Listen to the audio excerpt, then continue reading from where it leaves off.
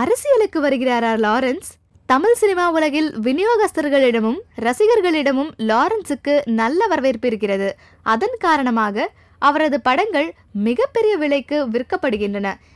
இதுவரை ஆன்மீகத்தில் மட்டுமே கவனம் செலுத்தி வந்த லாரன்ஸ் முதல் முறையாக சமூக பிரச்சனைக்காக குரல் கொடுத்தார். ஜல்லிக்கட்டுக்கு ஆதரவான போராட்டத்தில் மிக தீவிரமாக ஈடுபட்டார். இதெல்லாம் அரசியலில் அடியெடுத்து வைப்பதற்காக லாரன்ஸ் எடுத்து வைக்கும் முதல் அடி என்று சிலர் கூறி வருகின்றனர்.